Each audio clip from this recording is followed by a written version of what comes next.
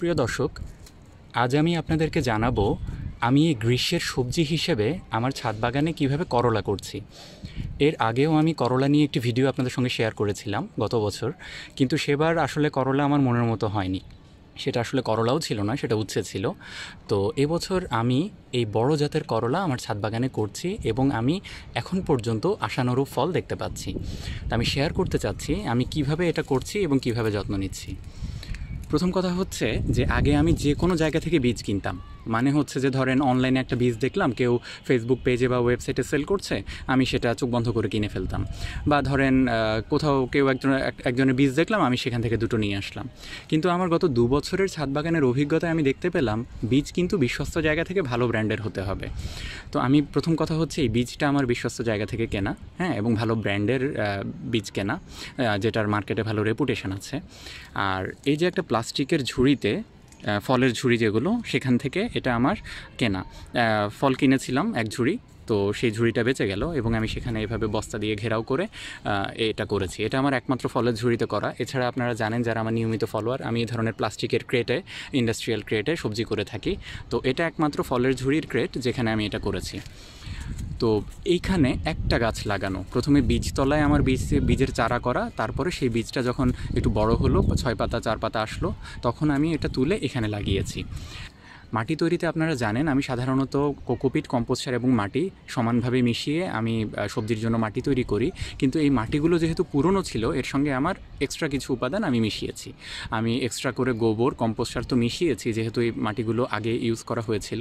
এর সঙ্গে আমি আবার দিয়েছি শিংকুচি দুই মুঠো, এই যে এই ক্রেটটাতে দুই মুঠো শিংকুচি, দুই মুঠো হাড়ের গুঁড়া এবং দুই মুঠা নিমখোল এটা আমি এর সঙ্গে মিশিয়ে দিয়েছিলাম।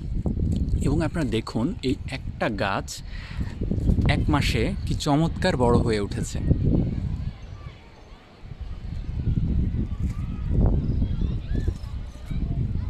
তো এতে আমি যত্নের ব্যাপারটা বলি, যখন ফুল আসলো, আমার খেয়াল রাখতে হয়েছে এখন প্রচণ্ড গরম, সারাদিন প্রচুর রোদ পড়ছে, কোনোভাবেই যেন মাটি একদম খটখটে শুকিয়ে না যায়।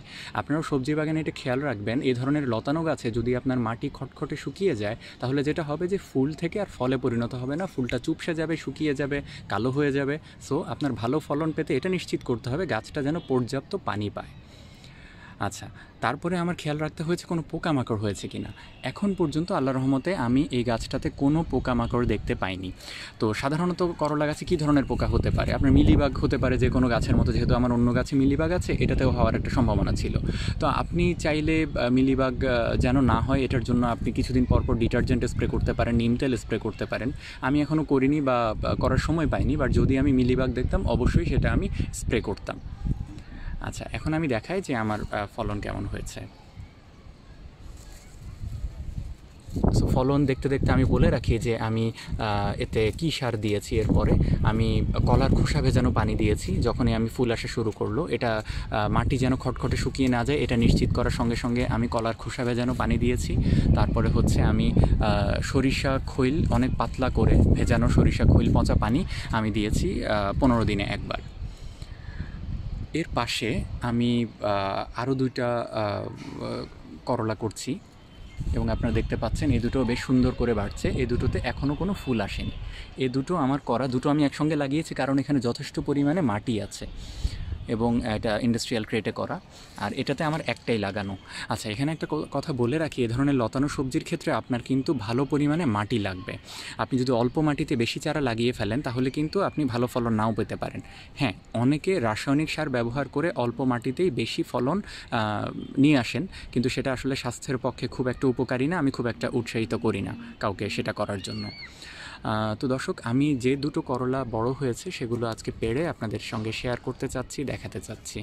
দর্শক, এই করলাগুলো আরেকটা, আরেকটু বড় হতো, কিন্তু আসলে আজকে ফ্যামিলির প্রয়োজনে এটা আমি তুলে ফেললাম। হ্যাঁ এগুলো আরও বড় সাইজের হবে। এবং এই দুটো ছাড়াও আপনারা দেখতে পাচ্ছেন যে আমার গাছে বেশ কটি করলা এখনও ছোট আকারে আছে। গুনলে হয়তো বা এটা বিশ থেকে পঁচিশটি হবে হয়তো। এটা একটা গাছে এখনও আছে দেখা যাক কয়টা হয়। আমার যত্ন নিতে হবে, খাবার দিতে হবে গাছকে নিয়মিত, তাহলে আমি এগুলো সবগুলোই হয়তো বা ইনশাল্লাহ আমি ফলন পাবো। এছাড়া আরও যে দুটো গাছ বড় হচ্ছে, সেখান থেকেও আমি আশানুরূপ ফল পাবো বলে আশা করছি। তো দর্শক, আমার ভিডিওটি দেখার জন্য সবাইকে ধন্যবাদ জানাচ্ছি। আপনারাও আপনাদের ছাদ বাগানে এভাবে করলা করতে পারেন। এই গ্রীষ্মে এখনও আপনি বীজ লাগাতে পারেন। সিজন যথেষ্ট বিদ্যমান, তো আপনারা চেষ্টা করে দেখতে পারেন। সবাইকে আমার ভিডিওটি দেখার জন্য ধন্যবাদ জানাচ্ছি। সবাই ভালো থাকবেন, সুস্থ থাকবেন।